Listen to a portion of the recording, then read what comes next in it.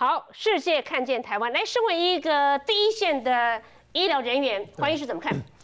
很多人都最近在媒体上看到 WHO 的这些呃不是很适当的一些做法，都说那这么烂的一个组织，我们干嘛要加入？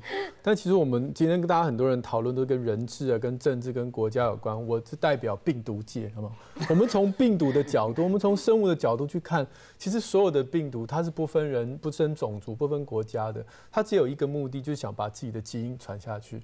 所以在历史上面，这只病毒不断的想要找新的宿主，只要能够感染的动物越多，我就越有机会把我的基因传下去。所以这只病毒，比如说我们这一只武汉肺炎新冠病毒，从蝙蝠一到人身上，其实这个过程在历史上早就发生过非常非常多次了。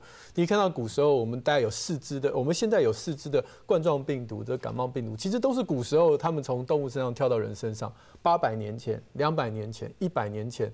可是你可以看到最近越来越快，二十年前，然后这个八年前又有另外一只 MERS，所以到现在这是现正在进行时，所以可能很多人说，为什么这些病现在现在这个病毒从动物跨到人身上越来越多？其实不是动物跨到人身上变多，这个速度突变的速度是一模一样的，重点是我们人的活动范围变广了。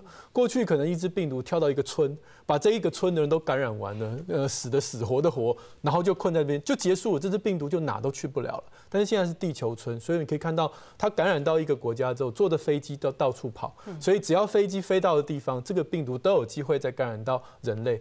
所以可以看到我们台湾先很高兴有一个零确诊，你可以看到我们零确诊的原因是什么？当然有很多个因素，我觉得第一个最重要的是超前部署，我们很早就已经开始做。我们看这个趋势图，本土案例挂零是连续四天，对，然后三天之内有两度我们的新确诊是挂零的，从这个趋势可以看得出来。对，所以你觉得呢？代表的意义是什么？对，这个代表意义我待会儿可以跟大家分析一下。但是我要讲的是说，你可以看到我们做了，比如说超前部署然后我们有口罩啊，我觉得还有我们的健保系统，还有一个我觉得很重要，是我们是个岛国。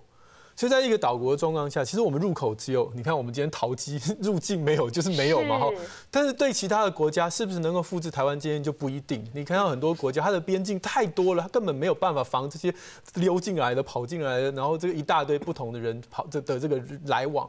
那我就想到一个很有趣的国家，就是冰岛，它跟我们一样也是岛国，人口没有比我们还少。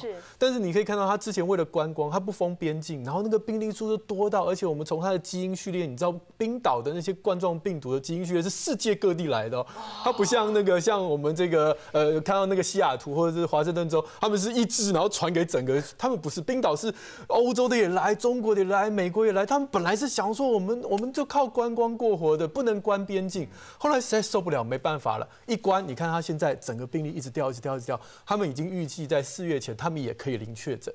可是我要问的问题就是这样了：我们现在台湾这样子关边境，冰岛这样关边境是一个很好的例子，但是我们能关多久？嗯，还有全世界的每个国家都在关边境，那这样的一个到这到最后我们要怎么样开？从谁先开始开？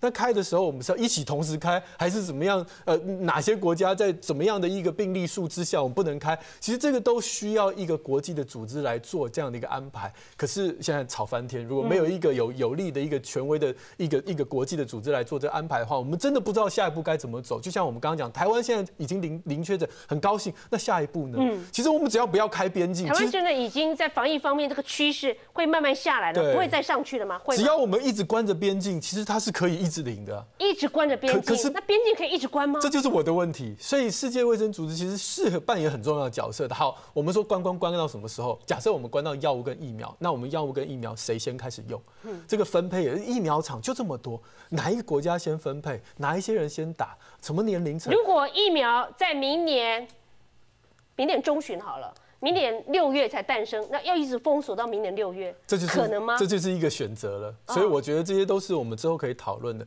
现在其实台湾已经站在一个最领先的地位，所以我们开始可以讨论未来。别的很多地方还在还在这个灭火，灭火的人是没有在想未来的。我只要把先个火火先灭下去，但我们可以开始想未来。那这个未来绝对不是台湾自己决定而已，我们一定要跟其他国际的地方接轨，才能够同步做一个很好的规划。所以从病毒的角度来看，就就等你，你只要一开放，我就跟着人。走，所以这个是一个很大的问题。